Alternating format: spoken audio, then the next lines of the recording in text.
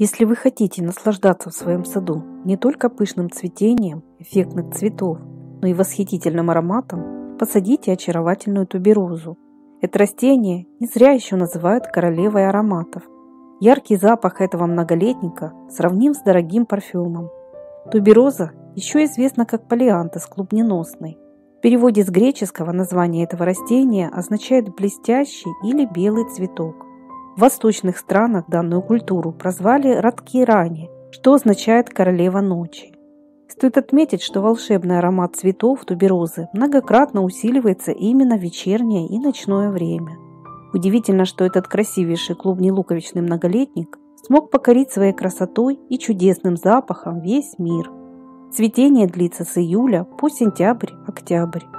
Белыми соцветиями из нежных махровых цветов туберозы можно любоваться часами, а ее чудесный аромат способен очаровать любого.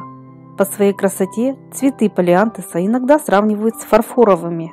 К тому же соцветия этого многолетника идеальны в букетах и способны сохранять свой вид не менее двух недель. Родиной полиантеса считается Мексика, хотя есть данные, которые свидетельствуют о происхождении этого древнего цветка из Филиппин и Малайзии. Как декоративное растение туберозу стали культивировать еще в древние времена. Например, в Мексике его выращивали еще со времен ацтеков. В Европе этот цветок появился много веков назад. Его полюбили не только за красивый вид, но и волшебный запах. С туберозой связаны самые разные легенды. Считалось, что тот, кто хоть раз вдохнет ее аромат, будет навеки влюблен.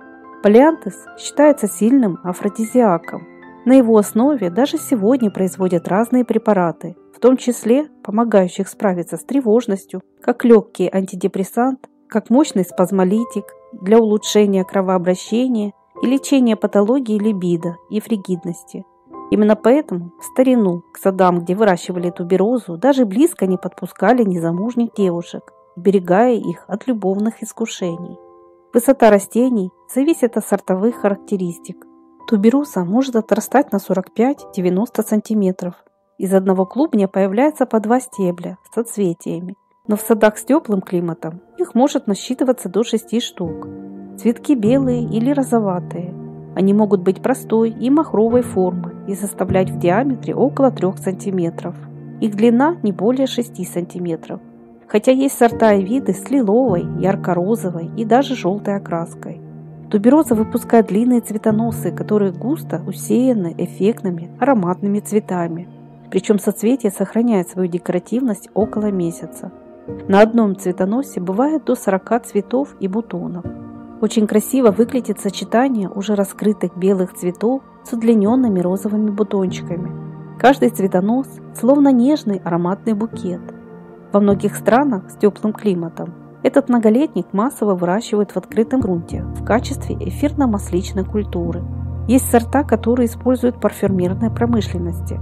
На основе этого растения создана целая линейка дорогих духов и туалетной воды. Эфирное масло, получаемое из этих цветов, стоит очень дорого. В регионах с холодным климатом клубни луковицы на зиму не оставляют. Перед высадкой весной их необходимо прорастить. Для этого уже в феврале луковицы укладывают во влажный мох и заносят притененное теплое место, ожидая появления зеленых ростков. Для этого хорошо подойдет мох сфагнум, который не проблема купить в садовых магазинах и супермаркетах. Далее клубни луковицы высаживают в контейнеры с рыхлой питательной землей. В почвосмесь для рыхлости добавляют песок. Посадку производят так, чтобы всходы оставались над уровнем грунта. Горшки ставят в теплое, светлое место до мая, а с приходом устоявшейся теплой погоды их высаживают в сад или пересаживают в более объемный контейнер сразу по несколько штук. Тубероза, в отличие от других луковичных культур, на старых клубнях не цветет. После того, как луковица отцвела, она уже не выпустит цветоносы, но ее можно использовать для размножения. Детки, молодые луковички, как правило, отсаживают во второй половине лета – если их не отламывать, то цветение может затормозиться, так как все силы растения направить на свое потомство. Туберозу можно выращивать не только в открытом грунте, но и в контейнерах. Особо красивые ее совместные посадки из разных сортов. Для контейнерного выращивания отлично подойдут компактные растения с высотой не более 45-60 см. К таким относятся популярный махровый сорт The Pearl и лилово-розовая тубероза розовый сапфир. Шикарные, ароматные кисти этих растений не только украсят вашу территорию, но и наполнят ваш сад восхитительным ароматом. Причем к вечернему времени он только усиливается. Палеантес можно с успехом выращивать даже в домашних условиях или на балконе. Только учитывайте, что не все могут выносить столь яркий запах этих цветов. Есть люди с крайней чувствительностью к запахам и аллергики. Таким выращивать это растение дома не рекомендуется. При посадке в саду выбирайте хорошо освещенные участки, прикрытые от сквозняков. Имейте в виду, что на ветру длинные цветоносы могут паникать, и вам придется их подвязывать. В регионах с морозными зимами туберозу нельзя оставлять на зимовку в саду. Как правило, клубни луковицы выкапывают в октябре, перед приходом заморозков. Их необходимо аккуратно очистить от земли, продезинфицировать в розовом растворе марганцовки или в препарате Максим, обязательно подсушить и только потом отправлять на хранение. Луковички можно уложить в сухой мохсфагнум, в картонную коробку и сберегать при температуре около 10-17 градусов. Садоводам более южных территорий повезло больше, так как выкапывать на зиму их не потребуется. Кстати, к почвам тубероза неприхотливая. Она станет расти на суглинках, и в обычной садовой земле. Хотя для обильного цветения клубни луковицы лучше высаживать в хорошо удобренный и рыхлый грунт. Полиантес также не подвержен болезням и вредителям.